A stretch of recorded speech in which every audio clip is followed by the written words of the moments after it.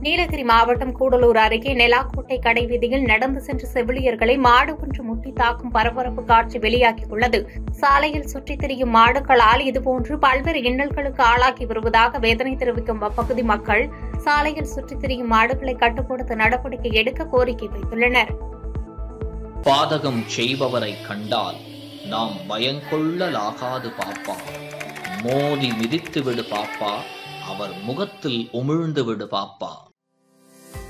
அண்மை செய்திகளை உடனுக்குடன் தெரிந்து கொள்ள இணைந்திருங்கள் இயம்நாடு தொலைக்காட்சியுடன்.